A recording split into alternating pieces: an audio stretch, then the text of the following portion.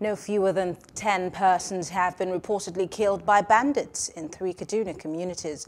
The attacks and reprisal left five dead in Giwa local government area of Kaduna State, just as four were killed and two injured by bandits in Igabi local government area.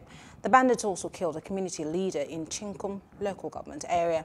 The state government has also intervened over tension brewing in Sabon Gari local government area of the state as private schools in high-risk communities were urged to adhere to security advisories for the safety of their students and staff.